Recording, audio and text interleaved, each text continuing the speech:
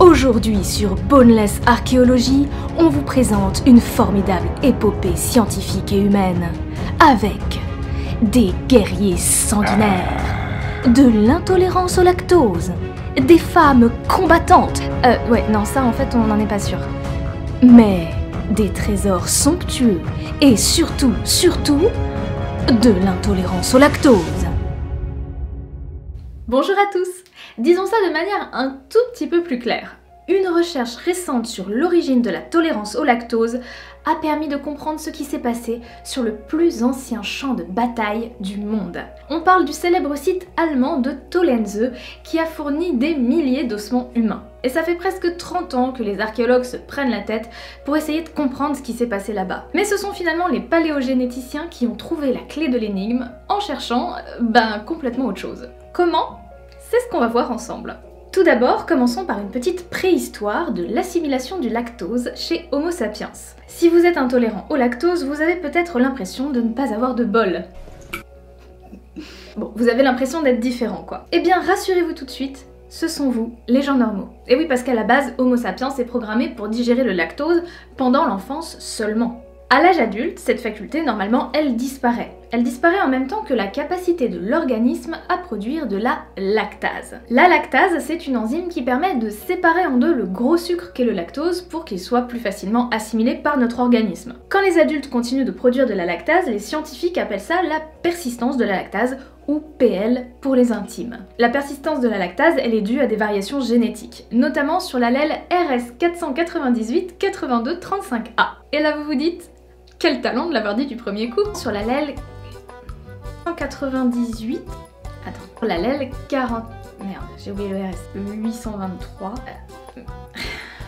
Les paléogénéticiens ont donc tenté de tracer la dispersion de cette variation génétique au cours de la préhistoire pour savoir quand elle est née, où elle est née et surtout pourquoi. Je vous épargne le euh, comment qu'on fait euh, pour tracer une allèle dans une population génétique sur des milliers d'années, mais en gros, cette variation apparaît au néolithique et devient de plus en plus présente dans le génome de nos ancêtres entre l'âge du bronze et le Moyen Âge, période où elle atteint quasiment son seuil de présence actuel. Fun fact, une des plus grandes stars de la préhistoire était intolérante au lactose à une époque où c'était plus vraiment la norme.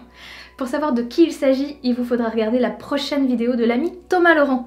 Et comme elle n'est pas encore en ligne, et eh ben le bon moyen pour toi d'être au courant, c'est de t'abonner à sa chaîne, d'activer toutes les notifications, comme ça ben, tu sauras quand elle sortira. Et puis si tu fais partie des 30% de personnes qui regardent régulièrement ma chaîne sans être abonné, eh ben fais-le pour moi aussi, ça me fera plaisir. Allez, retour à la tolérance au lactose. Il faut savoir que cette variation génétique s'est diffusée de manière hyper inégale sur la planète. De nos jours, pour un mélanésien, digérer le lait à l'âge adulte, c'est rarissime, alors que pour un Européen, c'est devenu la norme. Cette disparité, elle s'explique en partie par les différentes habitudes alimentaires qui ont été prises par certaines populations depuis des millénaires. Par exemple, nous savons que les produits laitiers ont été consommés par les populations proche-orientales et européennes en grande quantité dès le néolithique. Ah, marrant. Comment c'est ça? Excellente question, mon cher. Le premier indice de consommation de laitage se trouve à l'intérieur des parois des céramiques. Parce qu'au néolithique, les récipients sont légèrement poreux. Pour rendre une céramique parfaitement hermétique, il faut ajouter un émail ou une glaçure. Mais leur pose nécessite des cuissons à haute température. Sauf qu'au néo, on ne sait pas encore faire ça ce qui est une chance pour les archéologues. Parce que comme les céramiques sont poreuses, les acides gras des produits laitiers, ils se sont incrustés, tu vois, au cœur de la poterie. Et puis même si tu les laves entre deux utilisations, il hein, n'y a pas moyen, les résidus de ton repas restent incrustés à l'intérieur. C'est dégueulasse. C'est dégueulasse, mais ça nous arrange bien. Parce qu'on n'a plus qu'à faire des petits prélèvements dans les tessons de poterie pour restituer le menu des utilisateurs des pots. Oh, qu'est-ce qu'elle nous emmerde avec ces histoires de laitage et de poterie là C'est quand qu'on parle de la super baston de l'âge du bronze? Bah, c'est dans deux minutes en fait. Enfin, si tu me coupes pas tout le temps quoi. Euh, pardon. On peut trouver un deuxième indice de consommation du lait en regardant les ossements des animaux laitiers. On regarde plus précisément ce qu'on appelle les profils d'abattage, c'est-à-dire à quel âge les différents membres du troupeau ont été zigouillés. Et oui, parce que si tu veux boire le lait d'un animal laitier, tu es obligé de buter son bébé assez rapidement. Or, dès le début du néolithique, en Anatolie, au Levant et en Europe du Sud-Est, on constate que les veaux en prennent vraiment plein leur mouille. Donc, probablement qu'on utilisait le lait de vache. Ceci dit, ce lait de vache n'était pas forcément consommé frais, il pouvait être fermenté. D'ailleurs, on voit apparaître des formes spécifiques de céramique pour la transformation du lait en fromage justement à cette époque. Le fromage c'est très cool parce que ça permet au plus grand nombre de profiter des bienfaits du laitage. Pourquoi donc, me direz-vous? Eh bien parce que la maturation de la plupart des fromages fait chuter le taux de lactose. Et si le taux n'est pas trop haut, le lactose peut être assimilé par tout le monde, par les mutants porteurs de la super modification PL et par les gens normaux qui sont intolérants. Ceci dit, les mutants avaient un super pouvoir supplémentaire, celui de boire du lait frais. Ce qui nous amène à la question subsidiaire, pourquoi c'est super badass de pouvoir boire du lait frais d'un point de vue évolutif D'abord parce que boire du lait frais, ça améliore la santé intestinale, parce que ça repeuple le microbiome du côlon. Ensuite, le lait c'est une boisson relativement exempte d'agents pathogènes. Et oui, il est moins dangereux de boire du lait que de boire de l'eau quand vous êtes dans des conditions sanitaires délicates. À condition bien sûr de le boire juste après l'avoir trait, hein. va pas le laisser macérer deux jours au soleil sinon ça marche plus. Et enfin, le lait est un très bon pourvoyeur de vitamine D. Et la vitamine D, c'est pas si courant que ça dans l'alimentation. Alors heureusement, comme vous le savez probablement, on peut synthétiser la vitamine D grâce à l'ensoleillement. Sauf que quand t'as pas de soleil, faut tout miser sur la bouffe. Ça explique peut-être pourquoi cette variation génétique qui permet de boire du lait a été particulièrement sélectionnée chez les populations qui fréquentent des latitudes nordiques, alors qu'en Mélanésie, le bain de soleil suffit.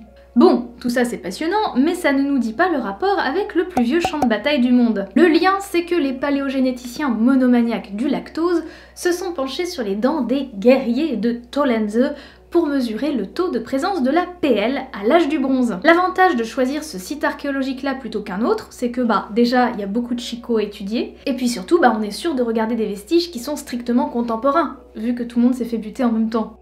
Ce fameux site archéologique se situe dans la vallée du fleuve Tollense dans le nord-est de l'Allemagne et il est daté de 1250 avant notre ère. Tout a commencé en 1996 quand un archéologue a retrouvé un numérus humain avec une flèche en silex fichée dedans. Des fouilles ont rapidement été organisées et très vite les archéologues s'aperçoivent que Tollense a été le lieu d'un drame. Genre un bon gros gros drame. Depuis le début des fouilles, on a exhumé à peu près 1400 morts sur une zone de 2,5 km de long. Presque tous les individus étaient des adultes, entre 20 et 40 ans, majoritairement des hommes, mais aussi quelques femmes. On y reviendra. Évidemment, tous ces macabées étaient sérieusement amochés. Ils portent des lésions causées par des flèches, des épées, des couteaux, des lances et aussi des traumatismes contondants. Ça sent la castagne. Les archéologues ont aussi retrouvé de nombreux squelettes de chevaux et une grande quantité d'armes. Des pointes de flèches en silex et en bronze qui étaient tantôt retrouvées par terre, tantôt retrouvés dans la tête des gens.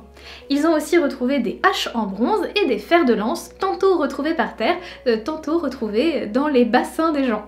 Ah, on vous l'avait dit, ça sent la castagne. Mais la plus belle découverte en matière d'instruments pour se foutre sur la tronche, ce sont ces maillets en bois, qui ressemblent un petit peu à des maillets de polo. Ils sont pourvus de longs manches pour permettre d'avoir une belle allonge pendant le combat. Et en plus, ils ont été faits en frêne et en bois de prunier, qui sont des bois relativement durs. Du coup, ça fait des dégâts. Ce type d'arme est très efficace et il était d'ailleurs utilisé par les Amérindiens pour la chasse ou pour la guerre. Mais ça vous le savez déjà puisque vous avez bien sûr vu mon week-end mortel à Montréal. Les archéologues étaient ravis parce que c'est très rare de retrouver des objets en bois datés de l'âge du bronze. Tout simplement parce que les matériaux organiques ça se conserve mal généralement sous ces latitudes-là. Sauf que sur le site de Tollense, les archéologues ont pu compter sur la présence d'un élément conservateur la tourbière. En fait, le lit de la rivière s'est légèrement déplacé et a fini par recouvrir le lieu du drame avec de la tourbe. Le coup de bol. Le gros coup de bol. Parce que grâce à ces conditions exceptionnelles, on a pu retrouver à proximité du champ de bataille un truc de fou. Les restes d'un pont et d'une chaussée le long des berges. Les cantonniers de l'âge du bronze ont d'abord ramené des tonnes de sable, puis ils ont mis un revêtement en planchette de bois on parle de 10 essences de bois différentes, hein, attention. Et en même temps, vu la quantité nécessaire, les mecs ont pas fait la fine bouche, ils ont pris tous les arbres du coin. Et pour finir, ils ont ajouté des blocs de pierre et de la mousse végétale sur les bords pour maintenir la chaussée bien en place. Un travail de titan qui a commencé aux alentours de 1900 avant notre ère. Et ça on le sait grâce à la dendrochronologie. La dendrochronologie, c'est une méthode de datation ultra précise qui permet de dater l'abattage d'un arbre à l'année près. Je rentre pas dans le détail, mais en gros, chaque année, un arbre, pour grandir, il fait un cerne. Hein. et plus t'es vieux, plus t'as de cernes. comme chez les humains en fait. Voilà. Mais c'est pas tout. Les cernes sont d'épaisseurs différentes en fonction de l'hydrométrie. C'est-à-dire que plus l'individu a beaucoup bu, plus il a des grosses cernes. Comme chez les humains en fait. Et il y a des archéologues spécialistes dont le boulot c'est de constituer une immense banque de données de cernes d'arbres. Ça permet de reconstituer le climat, mais aussi de dater l'année d'abattage d'un arbre en fonction de l'apparence de ses cernes. Tu regardes ton arbre archéologique et en fonction de l'alternance entre grosses, moyennes et petites cernes qui se succèdent, eh ben tu peux le recoller sur la chronologie générale des précipitations historiques. Plutôt balèze, hein? Ouais, les dendrochronologues, euh, ils envoient du bois.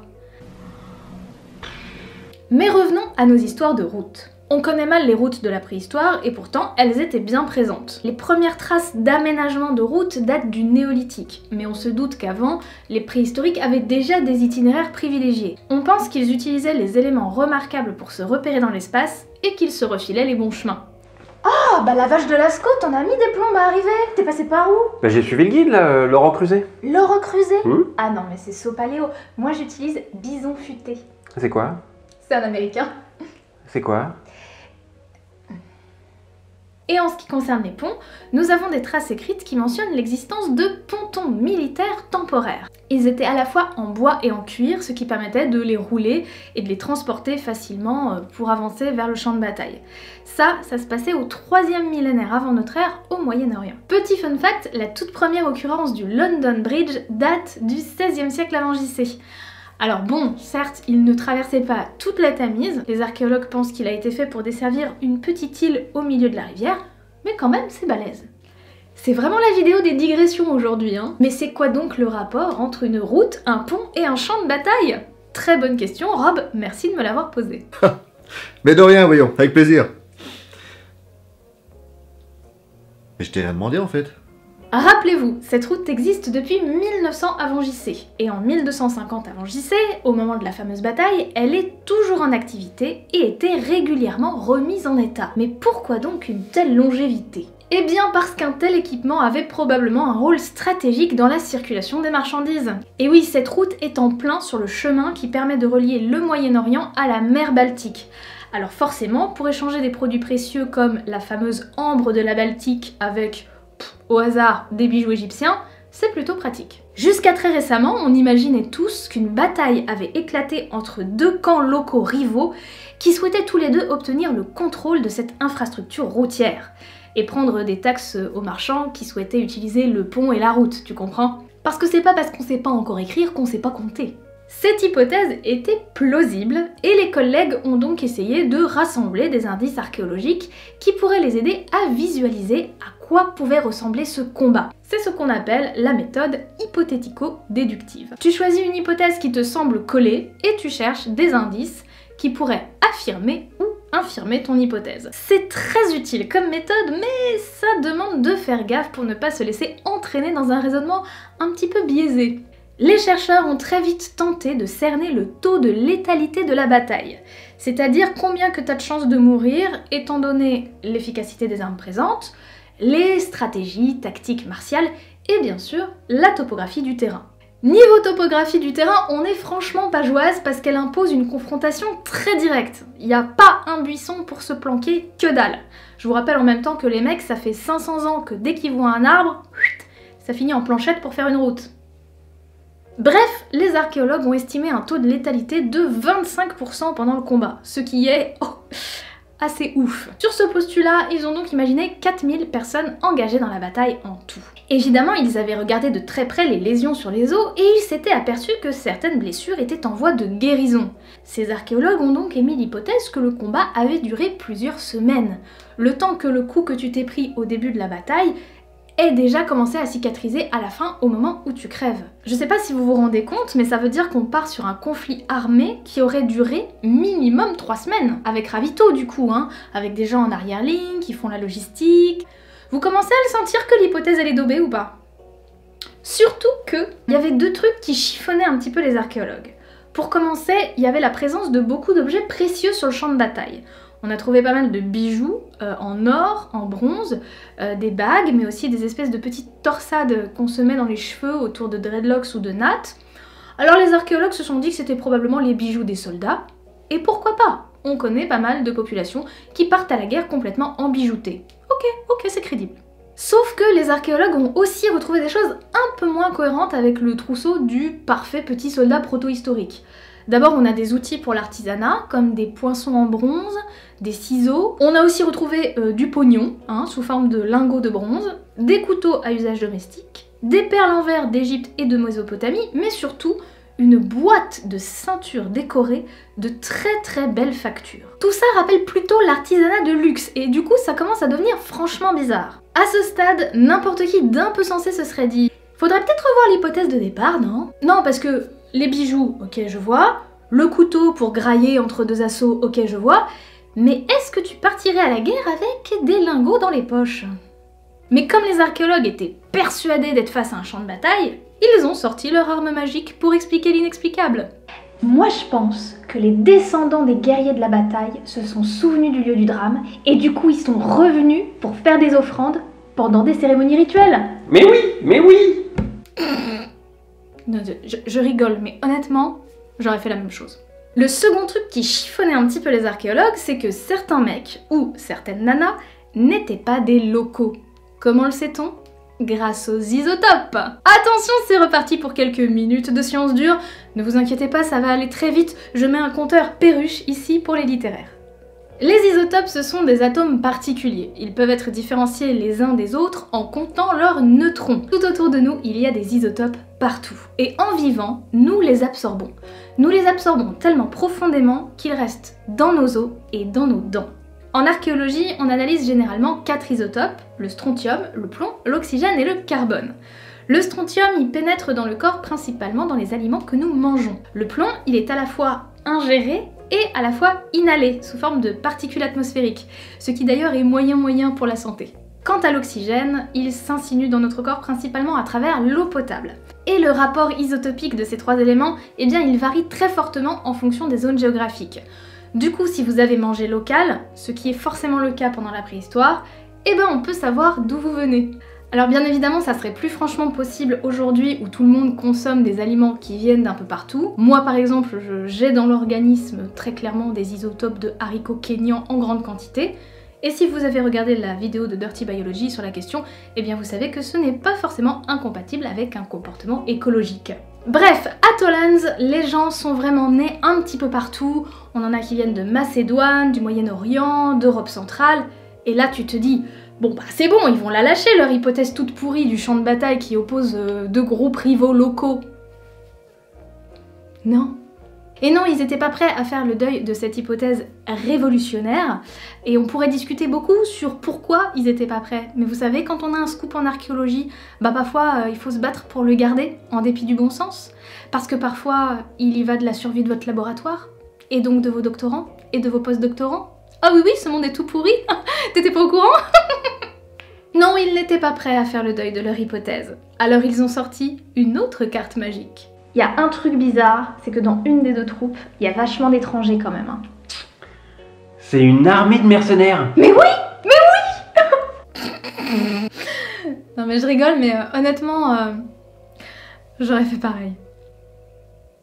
Heureusement, un groupe de chercheurs en paléogénétique mené par Janssen, qui est professeur à l'université de Gothenburg, a remis les idées en place de tout le monde. Pour traquer les voies de l'apparition de la persistance de la lactase chez les Européens, ils ont dû analyser beaucoup d'individus de Tollens, et ce de manière beaucoup plus précise qu'avant. Ils ont ainsi pu déterminer définitivement que dans le groupe qui a été le plus touché par la mort pendant la bataille, les gens venaient de loin et d'un peu partout. L'analyse des squelettes a donc enfin été reprise en revoyant le paradigme de départ, c'est-à-dire en changeant l'angle de l'hypothèse, pour comprendre qui étaient vraiment ces victimes.